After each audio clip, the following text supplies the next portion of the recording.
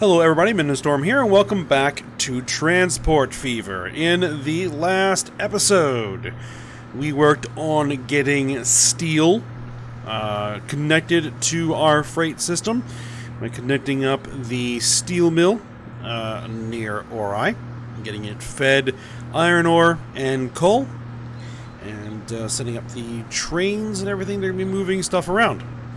And wow, the autosave that fast. Okay. And we also got our first vehicles that can be considered trucks here in the DMG Cannstatt. I think is what these things are called. They're uh, Daimler Motor Group, I think. And their first proper, I guess, what we could call a truck. It is a vehicle that runs off of an internal combustion engine not drawn by a horse. So, there we have it. And also there was a comment that the double road bridge that we have over here is a little bit odd. And sure it is. I mean, we, I could have just run this this road across to here and accomplish the same thing, but you know what? From the train perspective of a train say, leaving the station here and coming up underneath these bridges, it actually looks kind of neat, in my opinion anyway. Why are you stopping?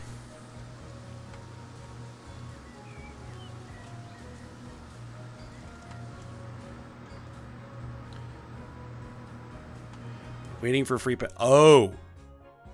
Oh, wait a minute. Okay. It appears I forgot to put signals on this particular piece of track. Okay.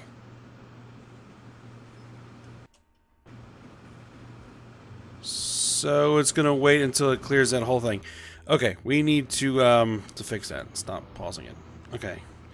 Uh, what we're gonna do is I'm gonna go ahead and throw pair of signals there that alone should be sufficient.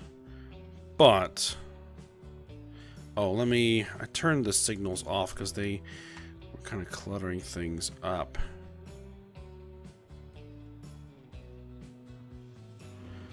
Oh no, I do have signals here. And what in the world was causing your problem? Oh, because you were going straight. And that guy was coming through here. So he would have been in your way. Right, for some reason I thought you were going that way. I think I may have actually forgotten, but I might have done that in between episodes. I can't remember. There is also one other issue that I noticed after the uh, recording the episode is that uh, this this steel mill should be producing slag, but it isn't. I ran things forward a little bit just to make sure that everything was uh, set up correctly. And, um, yeah, that isn't producing slag. And the reason why that's not producing slag is because this train here on these lines.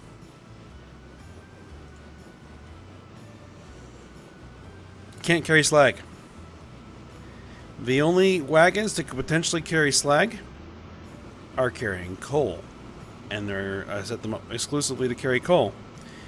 So that doesn't quite work. What I'm going to do is I'm going to make an adjustment here. I'm actually going to pause the game to prevent this train from aging any more than it already has. Because every second that goes by, the train ages and becomes more expensive to replace. Um, and then we're going to go ahead and... Um, we'll go ahead wagons. Someone said that we could do this. Ah, oh, yes! There we go. Freight. Very nice. Now, we need something that can carry coal and carry slag.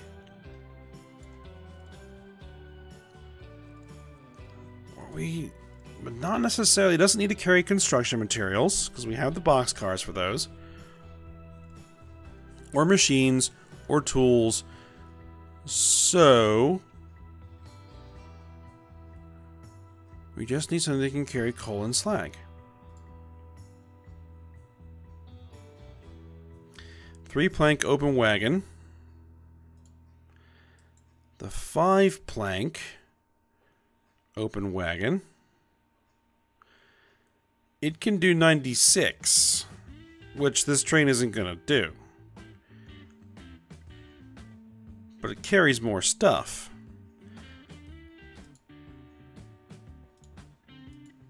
Than either of these. And you don't carry coal or... You don't carry coal. Okay. Uh, so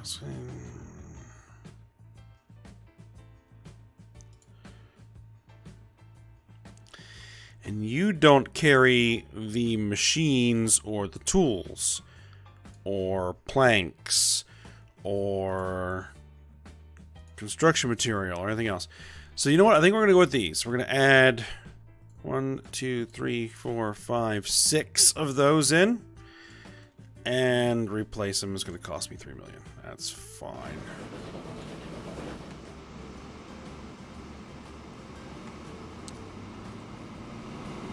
So that we can get slag. Because if we produce slag, if we let these things produce slag, they will produce steel without producing slag, but they produce twice as much steel if it produces slag.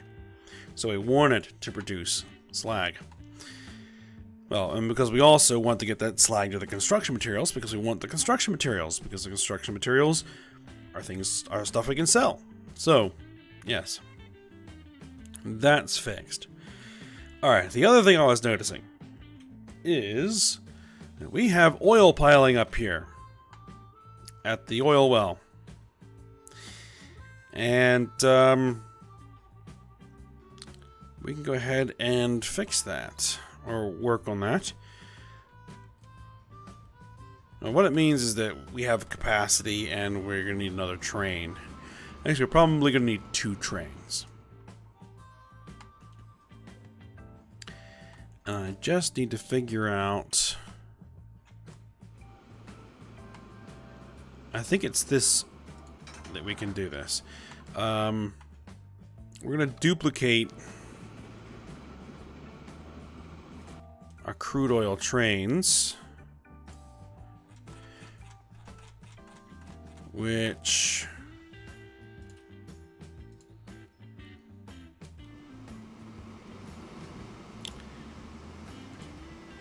You're running eight tank wagons. Okay. So, and these guys were using the S1s.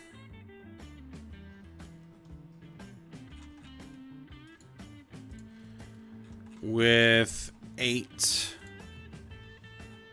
of these tank wagons. One, two, three, four, five, six, seven, eight. And I want two of those. And you are going to...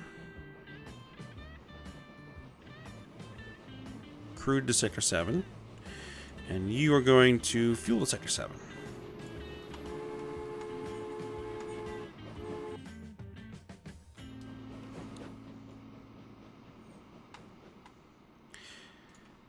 And they should sort themselves out.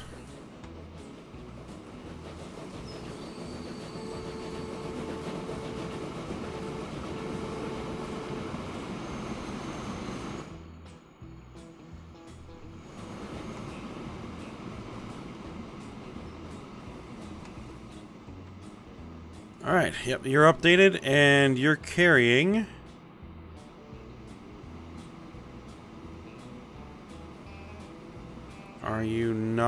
you, you are carrying coal. Okay, good. And then we should start seeing slag show up here.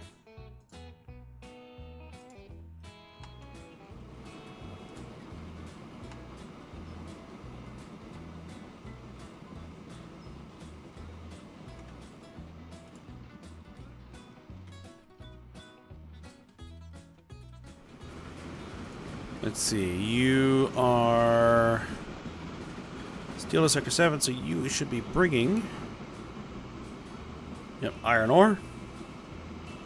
You're not bringing any coal.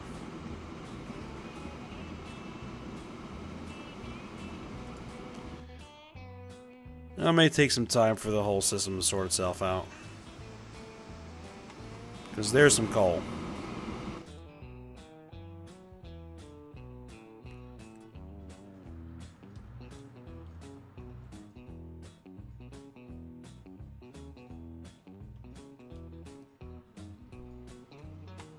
Just delivered some coal.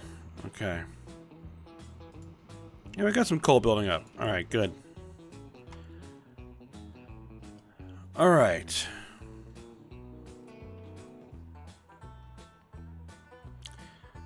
So, what is it we want to do next?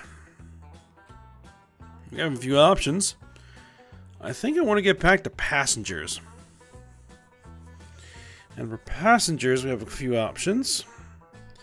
We can continue on this route, basically setting up the uh, Dol Guldur to Ul'dah to High Charity route.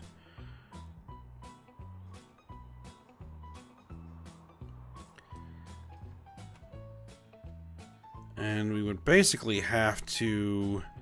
We would have to create a bridge over here, and we probably would have to run a tunnel somewhere. Unless we could get through there. I'm sure we'll be able to. We'll probably still have to run a tunnel.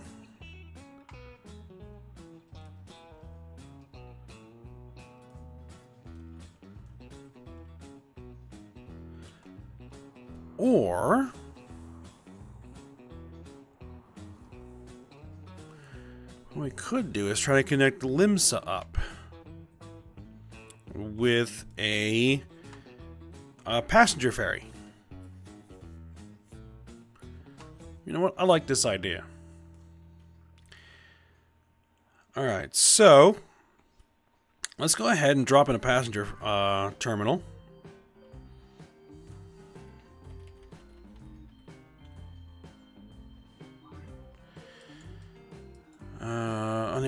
Align terrain, terrain alignment collision.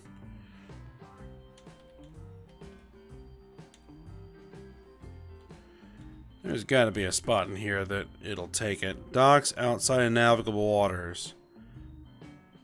Oh, because I have this thing backwards, that that would be, you know, helpful if we oriented it in the right direction. Okay, so there we are. Um, there's a road. Let's see. Docks outside navigable waters.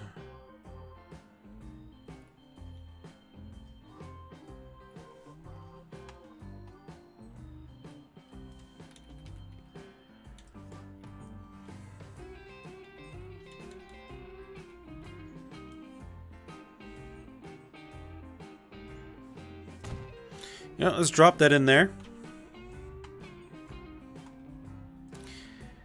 And then we'll figure out how this is going to work from here.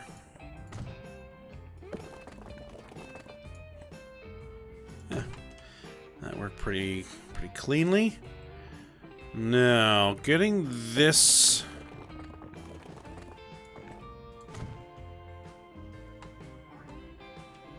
up the hill and connected to that is gonna be interesting.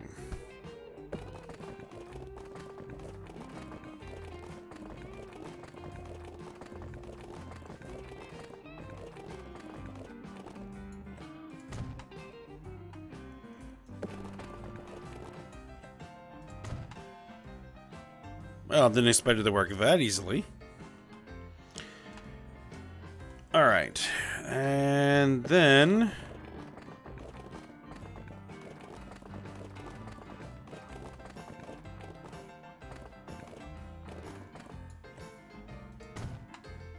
We'll do that. these two can probably connect through there. And...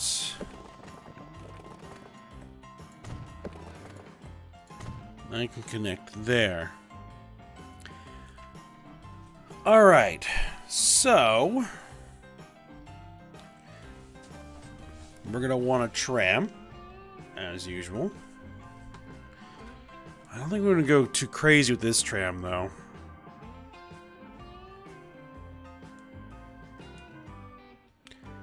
But let's go ahead and get some tram track on here.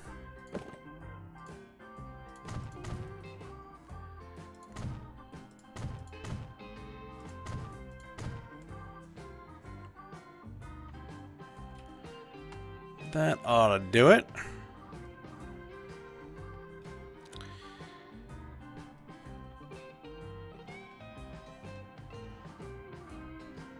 Now, I'm not going to do like one of those full-on depots. Because I don't think we need it here. So we just need to get people to the ferry. So...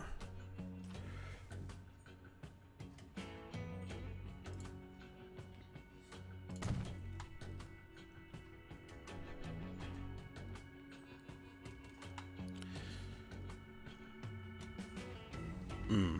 I didn't want that on the outside. No, no, no. We want that on the inside. If we're going to go this way.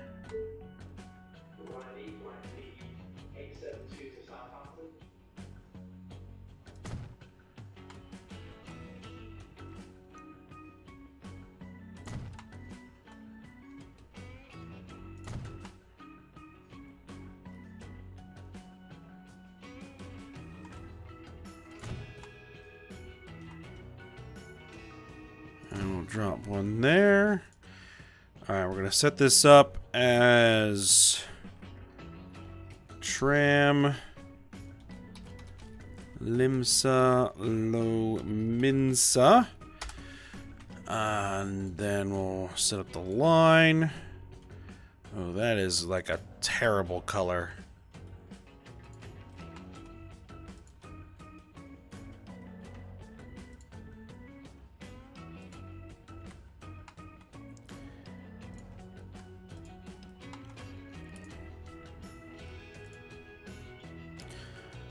Tram depot. Let's see, where would be the best place to put it? Somewhere where it's not going to create a really nasty lump in the road.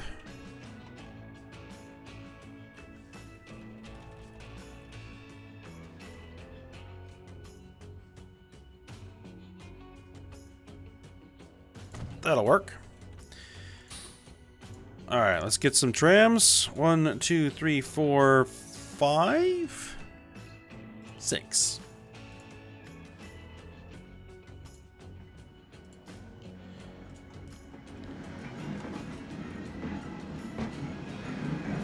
Get those guys going.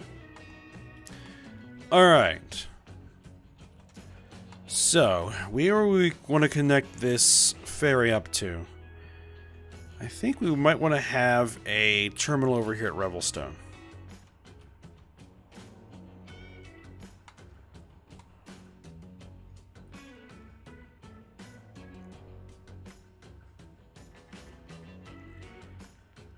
So let's see where I can fit it.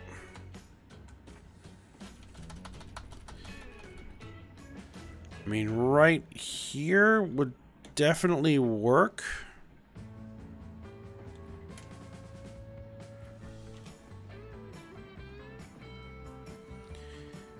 But would over here make more sense?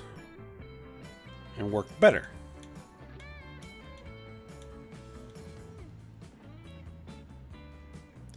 You know, let's just tuck it in right here.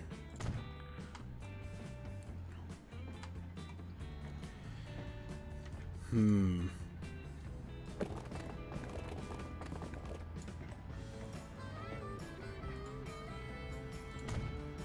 It'll let me do it.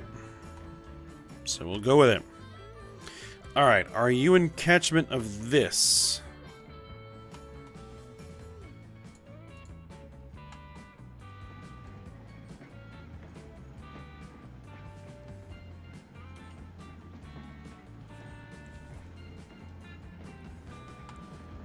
I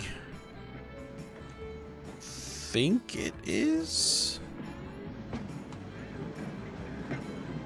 Yes. I think it does. Alright, well, we'll just assume it does. Alright, let's go ahead and set the line. This is going to be ship passenger. Um, RVS to Limsa.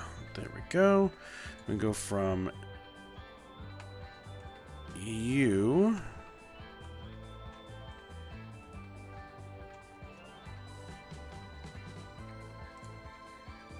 To there.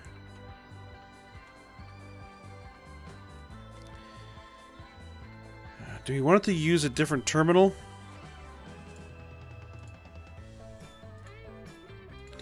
Let's see, what if it used Terminal 2? Uh, yeah, I think that might make, make more sense. Yeah, let's have it use Terminal 2.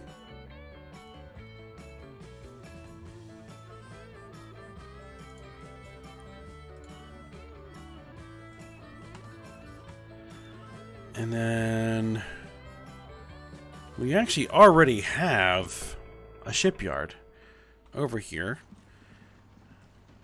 So we can go ahead and buy the ships here. Oh, I have this mod and I didn't realize it was going to be available. 1884. It carries 75 passengers. Steamship ferry. That carries 50. That carries 75. This is a million. 7,000 horsepower. Really? 168,000 a year. Um...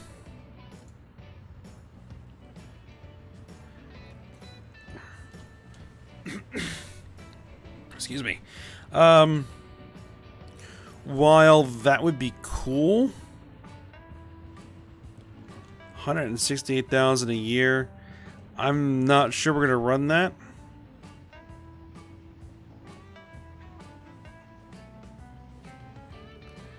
Let's do this. Let's buy four of the Frontenacs. Set line. See, there's 75 passengers. Do we really need four?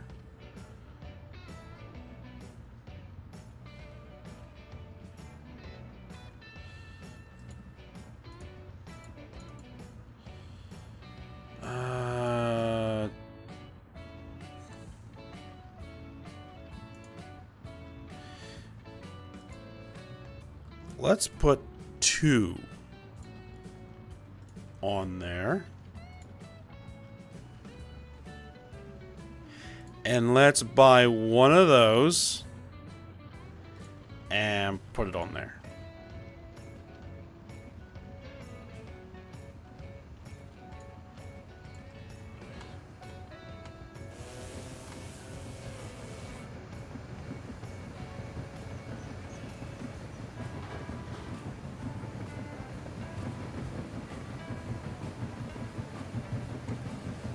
Let's just uh, accelerate it. Let's get those uh, Frontenacs out of there. And there's our steam ferry.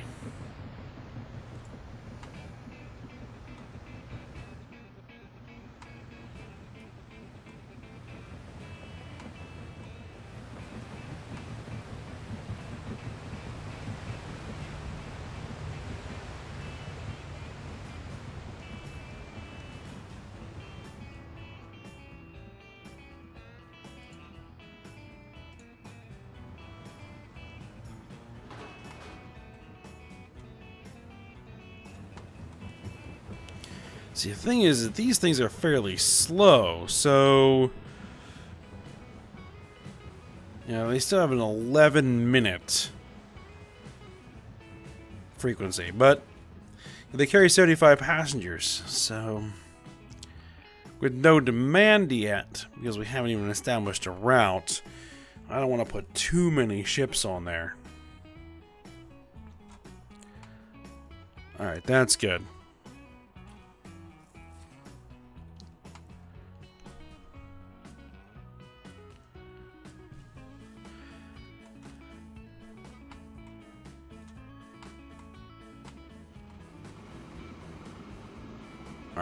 Things? You're delivering a load of coal.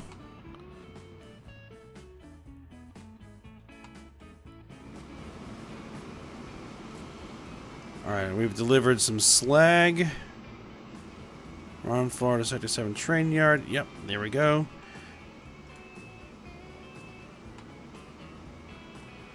So you should get that picked up after you drop off your load of logs. And you're also delivering some construction material and a load of coal.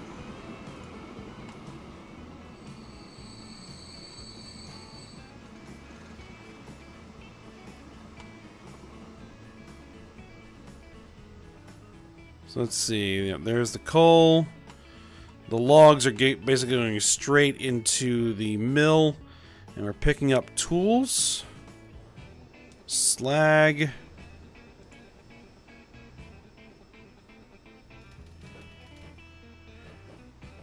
And some fuel.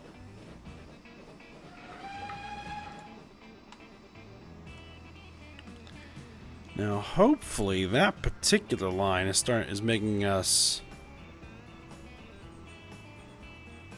Well, making us decent money.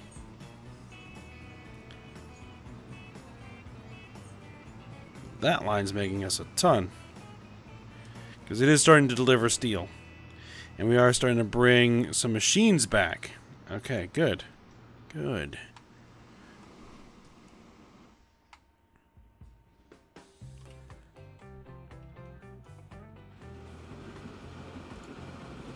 Alright, you're carrying slag and coal.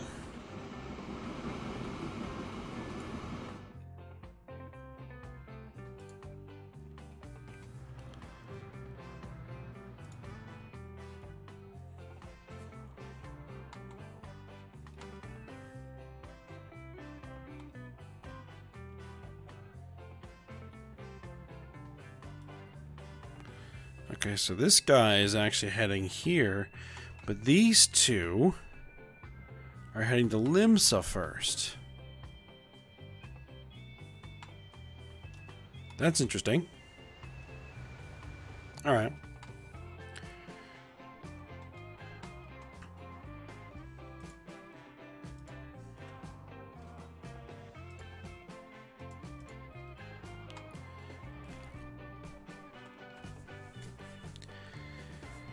Okay, we do need to start thinking about the passenger loop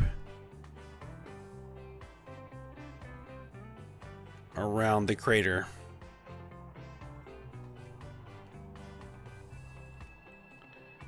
It is something we do need to consider. So, let's go ahead and... I mean, we don't have a lot of time left on this episode, but let's go ahead and figure out where the Ul'dah station is going to be. Because it's kind of nestled here in the hills.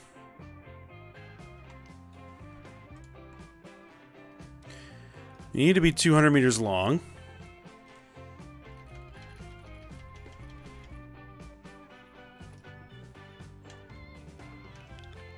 Oh, that's not exactly what I wanted to do. Okay. Um...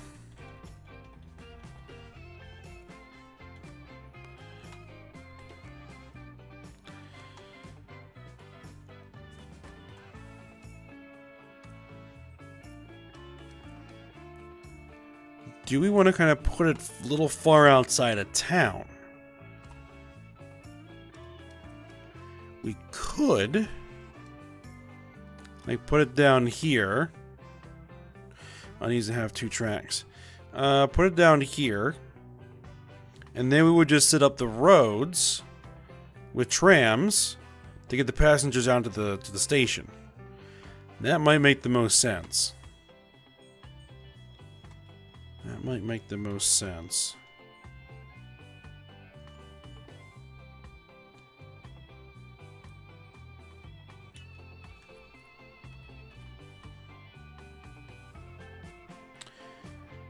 So let's go ahead and drop that in.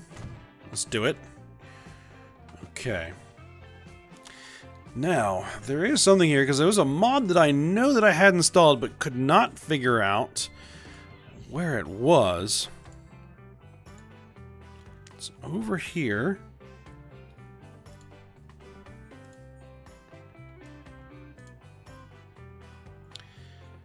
I think it was over here. I have all these mods installed for like decorative objects and stuff. There they are. Oh, those are just the flying junctions. There we go. Because I can do my diamond junctions using these. Whoa. I flipped that camera around pretty aggressively. Rather than trying to build them myself. So you might want to shorten that up a tad.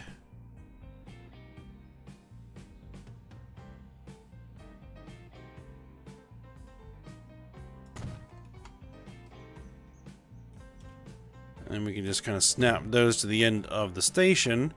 And there we have our, our diamond crossovers without having to manually build it.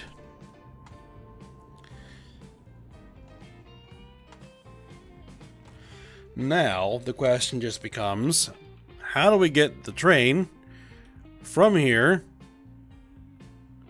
to here?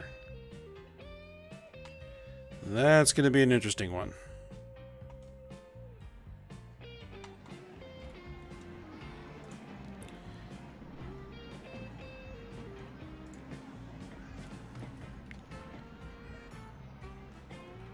Because we probably want to do the, the diamond junction there as well.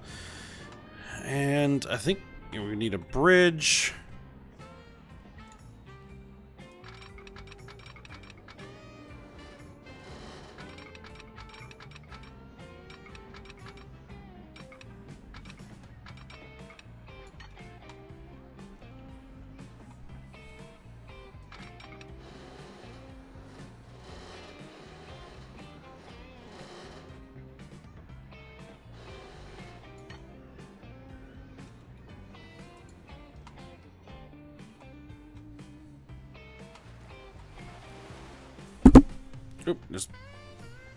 Bumped my mic.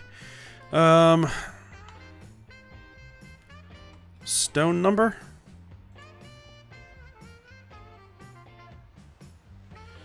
No, they're not fast enough. I don't know if I want to go with the steel. Let's see, if we made it a little bit higher? No, we don't need to make it higher.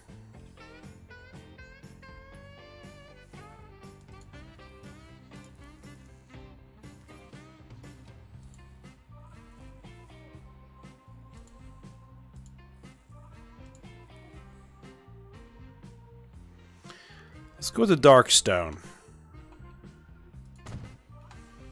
Get that in there.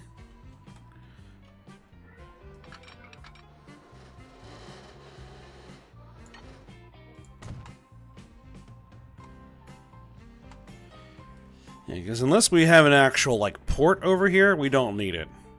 But if I were going to build a port over here, we're not going to build it in there.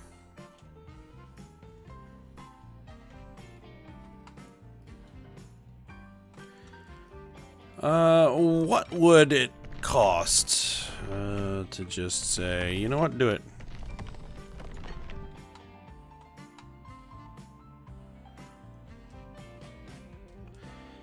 It'd be a $13.4 million tunnel the whole way through.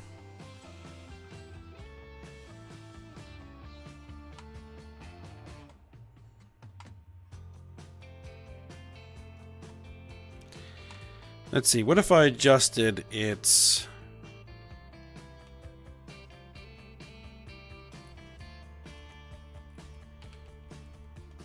Wow, we can really affect its cost. Make it 7 million? I mean, there's gonna be tunnel. There is going to be tunnel. 120, 114. There is some slowdown on there, but that's not bad. And you know what? That really isn't bad. Are we connected to the right side of the tracks? We're connected here.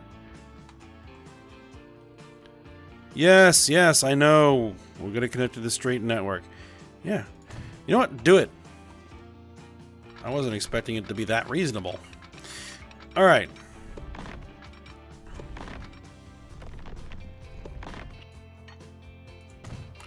We still have to do the second the second track.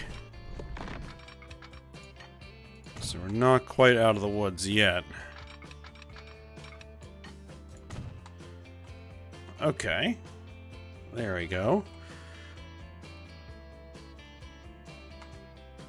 Yeah, it's a serious piece of tunnel. Actually, it's two tunnels. One through there, and then one through there. You know what? I don't mind that at all. Okay, let's see what we can do as far as roads.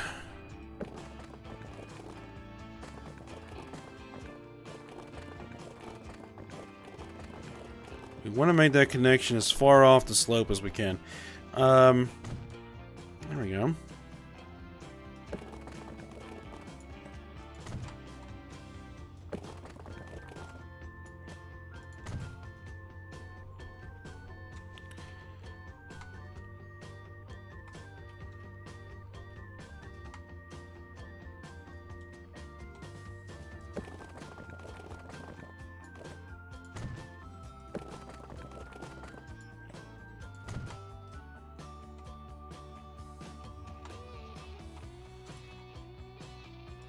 Let's electrify some tram track.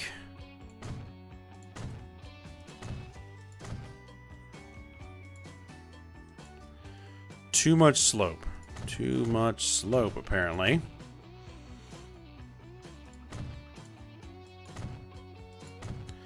But we can go through there. So you know what? I'll take it.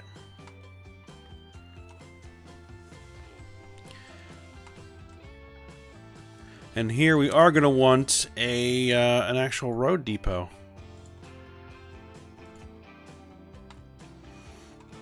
We want to make sure that it's electrified for trams.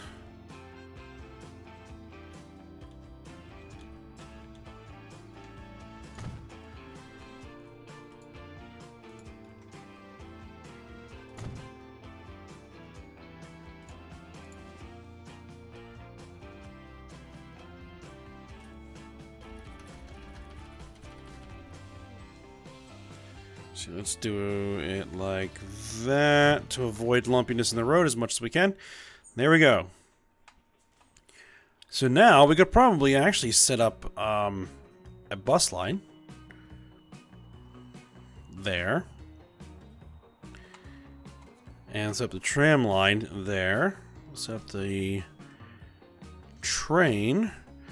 But we'll want to also extend this all the way up to High Charity as well before we are ready to set everything up.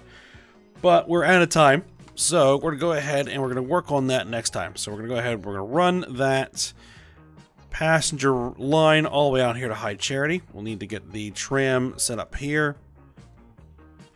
And then we might have to completely redesign some of the way these roads work. That's fine. And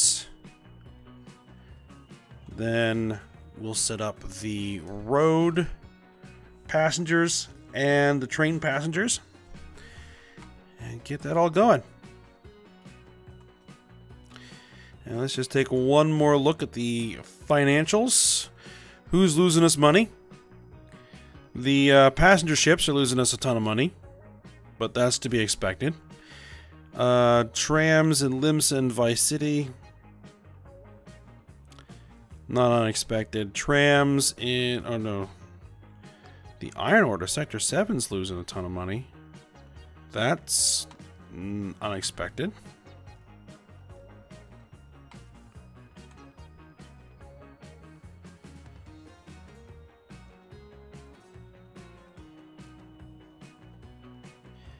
That may sort itself out over time.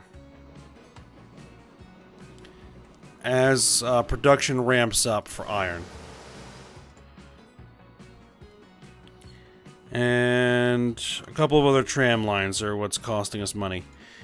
Uh, but we're making 2.3 million moving crude oil. Uh, we're making 2.17 moving passengers. And we're making another almost 2 million moving fuel and crude. And yeah, another almost 2 million on the Sector 7 train yard to McQuack Tools. I wouldn't have expected that particular line to be the one that's making the most money.